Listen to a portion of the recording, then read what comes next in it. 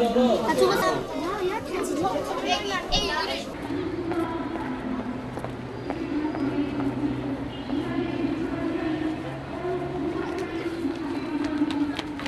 오늘은 어머니의 날이 아닙니까? 그래서 저도 지금 어머니를 축하해드리려고 꽃다발을 가지고 가는 길입니다.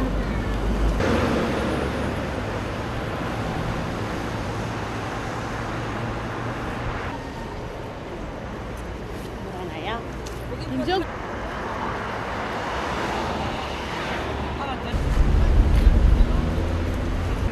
여자가 뜨거워. 여자가 뜨거워.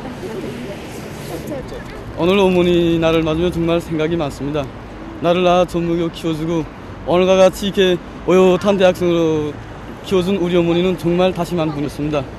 참으로 어머니들이 이 역할을 떠나서는 이거 가정과 사회의 건전한 발전과 민족의 창창한 미래에 대해서 저는 생각할 수 없다고 봅니다.